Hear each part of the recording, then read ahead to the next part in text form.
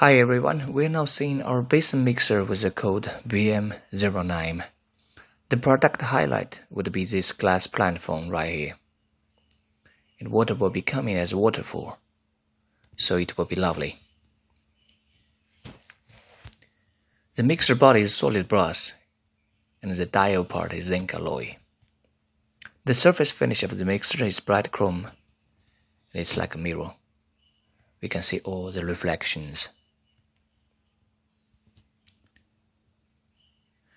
And we are adopting British standard half-inch collectors.